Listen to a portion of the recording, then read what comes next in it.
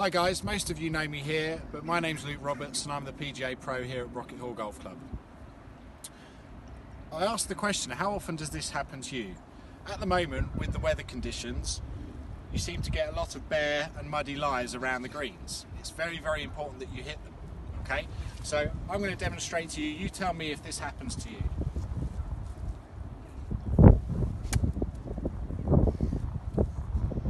Now, as you can see, it's very, very tricky to get a, a, good, consistent strike with a muddy lie.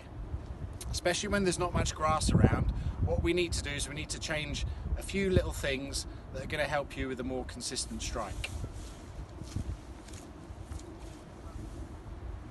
So normally, as you saw there, very steep angle of attack, weight a lot on the, on the left-hand side to dress.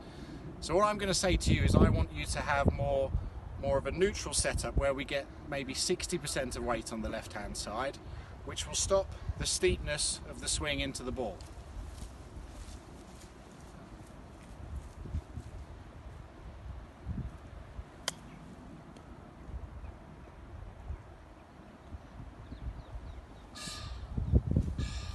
So as you can see, much better strike there, less leverage in the club, okay, not as much wrists, and a much cleaner strike.